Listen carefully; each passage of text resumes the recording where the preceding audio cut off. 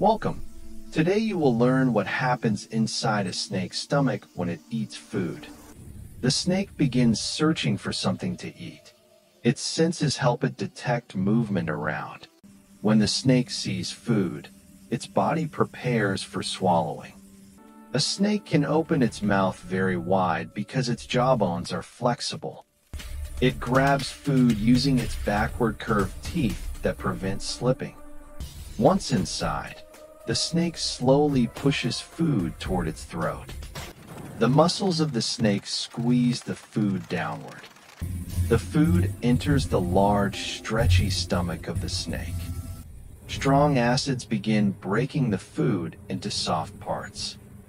Digestive enzymes dissolve protein, fat, and soft tissues. Nutrients are absorbed and sent to the snake's blood for energy. The stomach keeps moving to speed up digestion. The powerful acid can even dissolve bones slowly. After some time, most of the food becomes a soft liquid.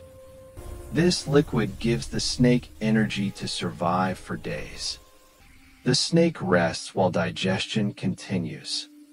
As the food becomes absorbed, the stomach shrinks back. Only small particles remain, and soon they also dissolve.